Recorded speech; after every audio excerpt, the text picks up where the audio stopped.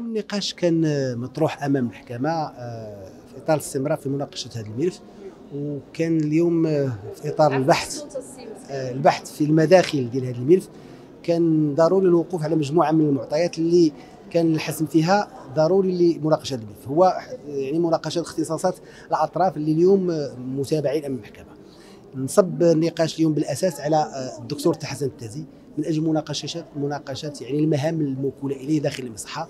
وصفاته داخل المصحه فكان النقاش اولا حول الدكتور حسن التازي بصفته طبيب تجميل. هل ارتكب خطأ يمكن ان يسال عليه.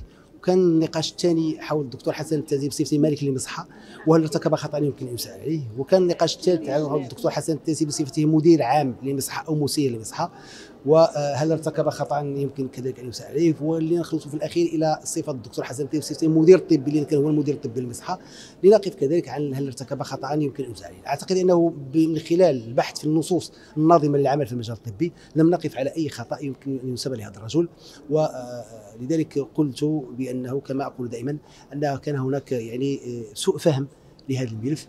وسوء تدبير لهذا الملف من وجهة نظري دائما كدفاع لأننا آه، هناك أمور دقيقة كان يجب الوقوف عليها لم يتم الوقوف عليها لذلك اليوم آه، المناقشة اليوم تميز بين اختصاصات الطبيب المعالج أو الطبيب المزاول والمدير الطبي وباقي وباقي, وباقي الصفات الأخرى.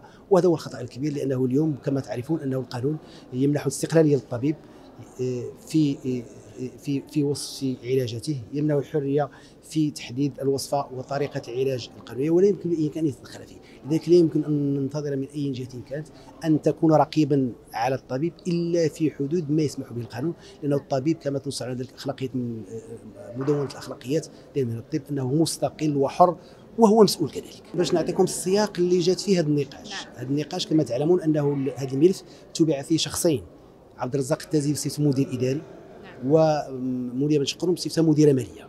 وكان نقاشنا مع آه، سواء لا أمام سيد الوكيل العام في مرحلة ديال التقديم ولا أمام سيد قضيه التحقيق في خلال جميع مراحل التحقيق ولا أمام المحكمة أن هذين الشخصين ليست لهما هذه الصفة.